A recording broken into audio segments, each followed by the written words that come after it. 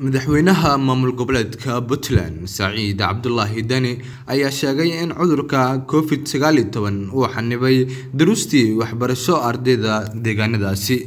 Deni ayaa sheegay in maamulka puntland uu noqday maamulka kaalinta koowaad ka istaagay in ardayda ay helaan duruustii hakadka ka gashay qaab olen ahna loo siiyo kaas oo ay ka faa-iideysteen ardaydii hore dugsiyada oga baxday iyo kuwo kalena ay u noqonayso aqoon isagoona ardayda u rajeeyey in imtixaankan si wanaagsan ay u galaan natiijooyin wanaagsanna ay ka helaan.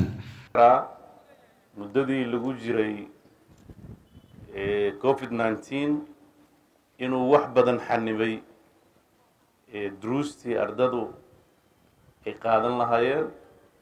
Waxaase sidoo kale ku faraxsanahay puntland inay kaalinta koowaad ka gashay la tacaalidda ardadooda oo barnaamijka online-ka ah ama telefaaska ah ee sida tooska ah ardada uga qaadanayeen imtixaanaadka casharada ay ugu horeeyeen dhammaan dadka soomaaliyeed sida warbixinta aan ku helay xataa ardada soomaaliyeed ee kililka joogta. Fursadahan oo kale ma aysan helin markii ay waxaanu dhaceen laakiin puntland runtii wasaaradda dadaal badan bay muujisay.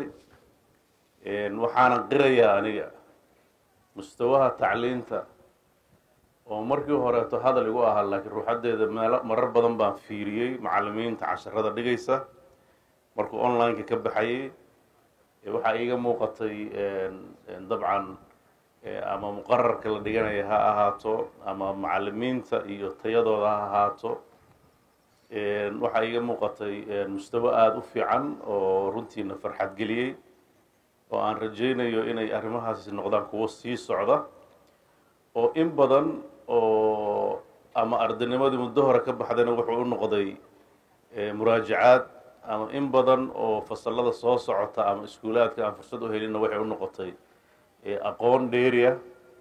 Mashruuc runtii wuxuu ahaa waktigu uu keenay laakiin faa'iidadiisu aada u badneyd. Waxaan rajaynayaa ardada halka joogta inaysan waxba ku seegin muddadii iskuolka uu xirnaa inay aada diyaar ugu yihiin in ay imtixaankaas ay si wanaagsan u galaan.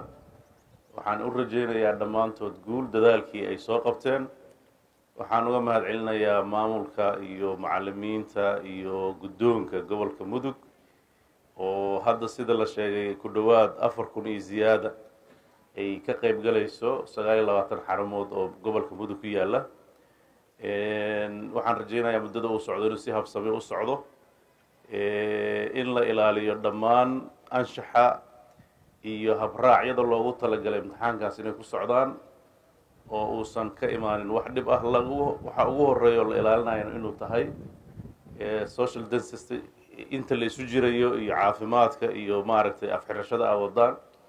Inkastoo puntland sida la sheegay uu hoos u dhacay laakiin haddana xanuunkii weli waa jiraa bulshaduna runtii inkastoo xaafadihii iyo meelihii aad joogtaan inta hadda aan ka arkayo dadku ay u qaateen inuu bahalkii dhammaaday laakiin dhalinyaro yaryar baa tihiin idinku in aad aada u taxadirtaan idinkana is ilaalisaan bulshada aada la nooshihiinna iska ilaalisaan. Markaad xaafadaha iyo dadka la macaamilaysaan inta laga hubinayo in xanuunkaas uu uu ka baxay geyigeenna aad baa u mahadsantihiin. Puntland ayaa noqonaysa maamul goboleedkii ugu horeysay ee qaaday imtixaanka shahaadiga ah ee dugsiyada maamulkaasi xilli lagu guda jiro cabsida laga qabo caabuqa safmarka ah ee covid sagaal iyo toban.